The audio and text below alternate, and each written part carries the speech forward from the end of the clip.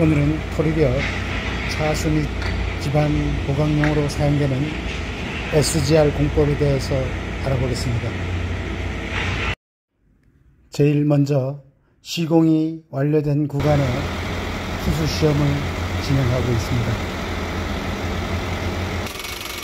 소정의 깊이까지 드릴 장비를 이용하여 선공을 진행합니다. 천공이 완료되면 그 내부를 물로 가득 채웁니다.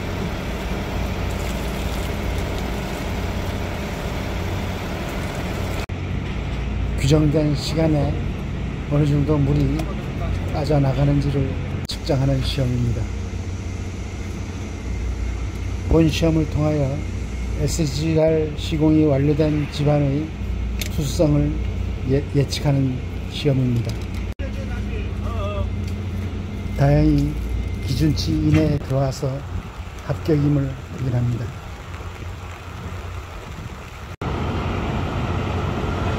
그럼 이제부터 SGR 공법의 시공 과정을 알아보겠습니다. 본 영상은 그라우팅 용액을 집안으로 주입하는 영상입니다.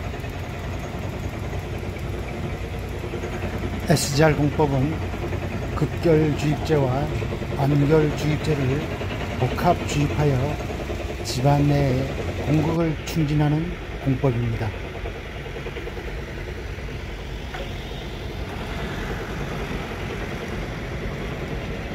보시는 영상이 프렌트에서 용액을 혼합하여 어, 집안으로 이송하는 장면입니다.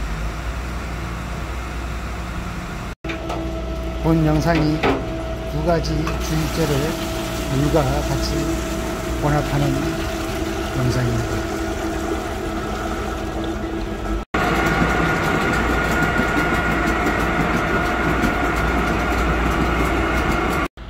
이와 같은 주입제가 액상을 유지하여 토질 내에 미세 공극으로 침투되어 그 공극을 충전하는 방식이 되겠습니다. 보통 50cm 간격으로 천공을 하여 구멍을 뚫지요.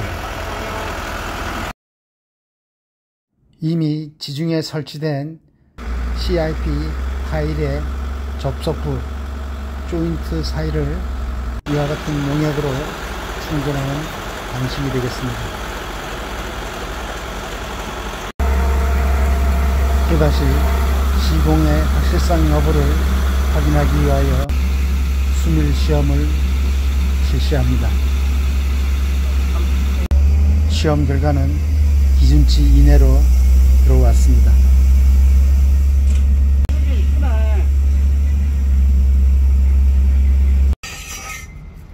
맞아 이렇게 됐어야 되는데 아까는 그냥 콸콸콸콸 빠지더라고 아까 그 개칭 녹조에서 됐어요. 개.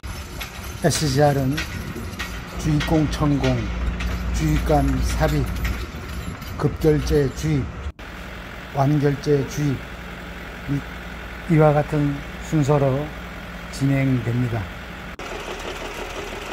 여러 가지 장점 중에서 이중간 조합 주입으로 인근 집안의 인기를 막을 수 있는 공법이 되겠습니다. 아울러 지하 시설물이나 주변 구조물에 영향을 미치지 않는 공법입니다. 여기까지 영상이 도움이 되셨으면 좋아요, 구독하기 부탁드립니다.